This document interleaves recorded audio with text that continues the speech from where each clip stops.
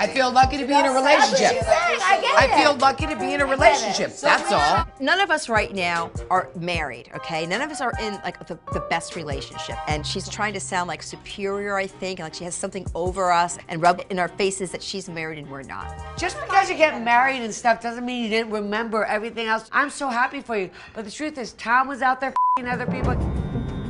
You were out there. When you get married, you commit to someone, and that's your world. But don't, let's not pretend now it's like. I'm not oh my God, pretending so anything. I never have to see that. Come on. Yeah, we get it. You love Tom. You're married. You love Palm Beach. We get it. Don't make me feel bad I'm about making being married bad. and being happy. And I love Lou, but here's the thing: we're happy for you, but this group doesn't want to hear about it anymore.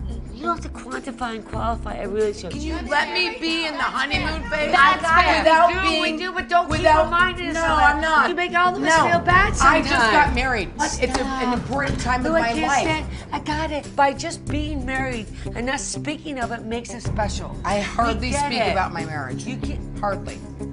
Since I got married, do I speak about my marriage? Do I? Do I? Do I? No, I don't. We know you're happy and you should be happy, but we're having a very intense conversation about dating and then About dating? We're talking about anal sex. and you're like, I'm so happy I'm married. It could be belittling, is what she said. I don't gloat about it. You're just like us. We're all women struggling for happiness, success, and everything. Right, but she had a little bit of a rough road coming up to the wedding. Just saying. Four of us weren't invited. Like she had a little bit of a drive to get to the wedding, and now it's happened. So she wants to revel in it because it was a little bit not great. I'm surprised, Beth, that you're going about face, okay? I'll be honest with you. What do you mean about face?